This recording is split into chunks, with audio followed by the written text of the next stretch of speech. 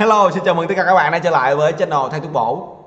Thì uh, tôi sẽ uh, nhận thử thách từ Thiên Ngang một cái cạc 100k Nó sẽ donate cho tôi. Là nó bắt buộc tôi là kể một câu chuyện ma trên nền nhạc của Kenny You Ok, bắt đầu nha. Và nó muốn là cái bài nhạc là cái bài uh, beat trái bỏng như luôn nè. Đó, ở cái melody trái bỏng. Vô. Mình sẽ kể câu chuyện ma nha, mình nhập tâm mình kể đàng hoàng câu chuyện ma mà trên nền nhạc hài của Kenny Diêu bắt đầu thôi. Hai ba. Vô. Hãy ủng hộ bằng cách nhấp và đăng ký kênh này ngay phía dưới clip. Cảm ơn bạn rất nhiều. tôi sẽ kể cho anh em nghe về một cái câu chuyện là câu chuyện này là tôi không biết có thật hay không nhưng mà từ một người kể ra cho tôi nghe. Nó là như vậy. Um, vào một ngày hôm nọ cái chú đó chạy xe trên đường. Thì uh, vào cái lúc là khá là khuya tầm uh, 12 giờ mấy 1 giờ. Thấy thì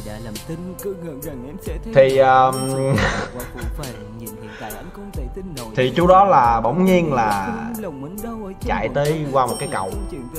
đúng không? chạy qua một cái cầu. anh em hãy tập trung nghe tôi nói này nha đừng có tập trung vô Kenny Diêu. Ok chưa Chạy ngang qua một cái cầu. thì ờ, khi chú đó phớt qua, lúc mà bắt đầu lên cái cầu á, thì không có không có thấy cái gì cả. Xong chú đó chú đó bắt đầu chạy tới giữa cầu. Phớt qua, thì chú đó bỗng nhiên, chú đó thấy chú đó mới chạy ngang một cái gì đó. Mới chạy ngang một cái gì đó. Đó. xong số đó mới cảm giác là ừ mình mới chạy ngang một cái gì đó. Ai đang ngồi trên thành cầu hay là cái gì đó. Có thể em có Xong chú đó ngoái đầu lại nhìn. thì bỗng nhiên á là có một đứa con nít ngồi trên cầu. Thì, um, chú đó mới đảo xe lại. mày đổ má mày hát quá thấy gớm rồi. Chú đó mới thấy đứa nít xong đúng không? Chú đó mới đảo xe lại chưa đó mới mới, mới đảo xe lại. Thấy uh, đương đích đó và chú đó hỏi con làm cái gì giờ này? Giờ này khá là khuya rồi. 12 giờ mấy 1 giờ đêm rồi con làm cái gì mà con ngồi ở đây? Anh em nhớ tập trung vô tôi nha. Đừng nghe cái review này đọc gì hết. Xong sau đó là em nó nói là con ờ, đi chơi chiều giờ. và bây giờ là con không biết đường về. Con không biết đường về. bây giờ con đi hoài cũng không tới nhà. bây giờ con mệt quá con ngồi ở đây chú chở con về được không? Bây giờ con bị lạc đường rồi. thì chú đó mới hỏi là con nhớ đường về nhà hay không? Mới nói là bây giờ chú cứ chạy đại đi. bây giờ thấy cái con đường nào quen thì con sẽ báo với chú. Và con nhận ra là cái đường đó về nhà của con. Đó. Xong cái em bé đó mới leo lên xe của ờ, chú đó chở.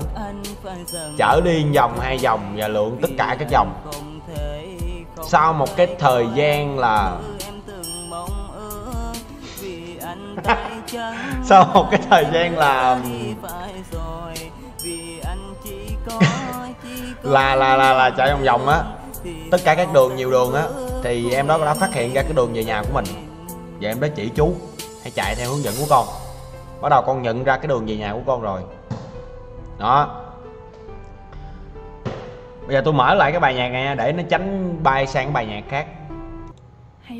Là bắt đầu trở về. và cái chú đó nghe theo cái em đó chạy về nhà. Bắt đầu. Chạy tới nhà sau đó là em đã nói là chú thả con trước nhà được rồi. Để cho con đi vào nhà. Chú không cần kêu ai nữa. Là chú đó định bước vào nhà là kêu cha mẹ của đứa bé hỏi tại sao mà để đứa bé là đi tới giờ này 12 giờ mấy 1 giờ đêm rồi. Mà bắt y chang là tại sao không giữ con mình không thương con mình hay như thế nào? Xong sau đó là em bé đã cản chú và không cho chú đi vô nhà tại vì em bé sợ ba mẹ của mình quánh mình là vì mình đi chơi tới giờ này mới về. Ok chưa? Xong em bé nó năn nỉ chú. Em bé phải cảm ơn chú. Xong là em bé đi thẳng vào nhà. Thì chú nhớ cái nhà đó. Và chú nhìn vào một lần nữa. Thì chú đi. Chú đi về. Sau khi chú đi về thì uh, cứ ngỡ vậy là xong cái câu chuyện. hai tuần sau. hai tuần sau nha. hai tuần sau. chú đó có một cái công tác gì đó. Quay lại đúng cái con đường mà gần vô nhà của bé đó. thì chú đó chạy ngang qua cái nhà. chú đó mới nhìn vô nhà. Thì thấy ba mẹ của đứa bé ngồi trong nhà. đó. và chú đó đảo lên một vòng nữa. Mày đủ mẹ mày tới khúc căng thẳng nha kem đi yêu xong chú đó là hoành đầu lại. nhìn vô là thấy uh, ba mẹ của đứa bé đó. xong chú đó quyết định đi vào nhà hỏi ba mẹ của đứa bé đó là ngồi nói chuyện và hỏi thăm tâm sự. Thì mới hỏi là ờ tại sao vào ngày đó ngày mấy tháng mấy lúc mấy giờ anh chị nuôi con cái kiểu gì mà tại sao để con mình đi chơi đâu mà tới khuya? Nó đi tới khuya. Thì à, ba mẹ của đứa bé vẫn ngồi nghe ông đó nói chuyện. Và ông đó cứ chen là cái cảm giác là y chang là một người cha vậy đó bực tức hai người này.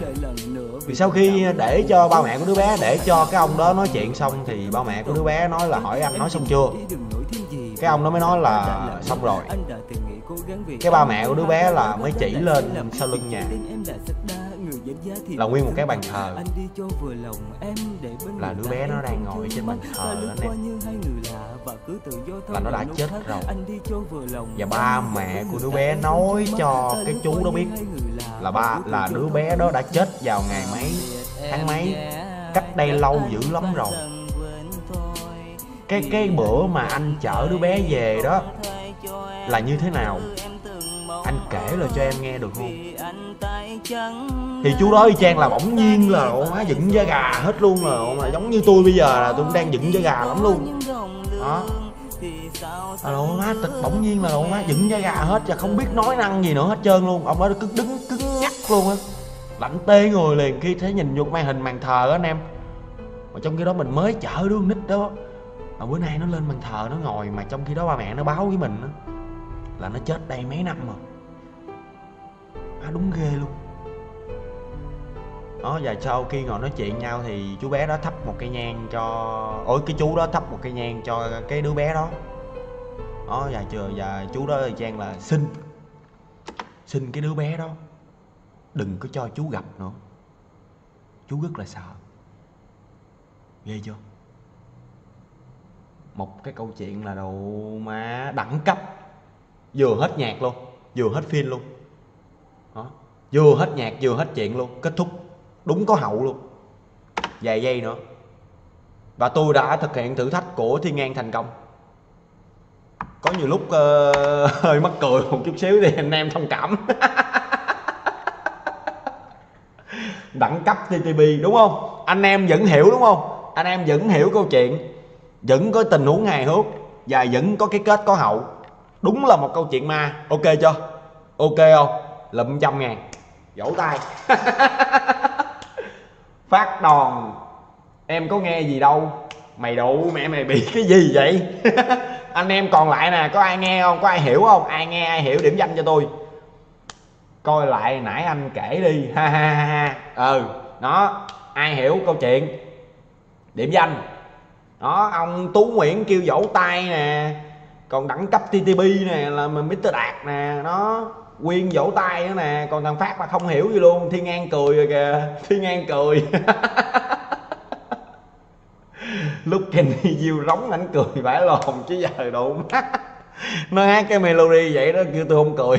Tôi coi lại clip này độ mấy mấy lần cũng độ má, cũng cũng phải cười thôi.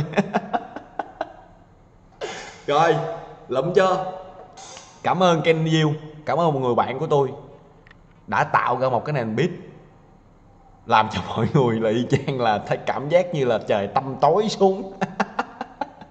Và mọi người tưởng tượng như là ma đang xuất hiện. Cái chỗ mà đi lạc. Cái chỗ đi lạc. Lạc lạc đi lạc hướng đâu rồi ta.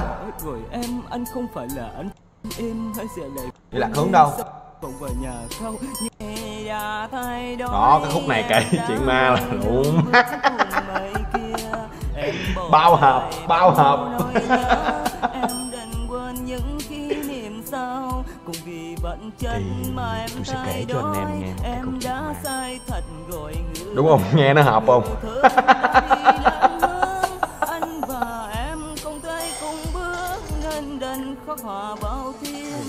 Rồi vậy là xong câu chuyện rồi nha anh em Chào tất cả các anh em trên kênh của tôi Đó Lụm trăm ngàn Lụm lúi thì ngang thử, thực hiện thử thách trăm ngàn thì mình đã lụm lúi. Vừa hài vừa ma. Và kết thúc có hậu một câu chuyện ma đàng hoàng. Ô nghe hấp dẫn không? Hấp dẫn lắm nha.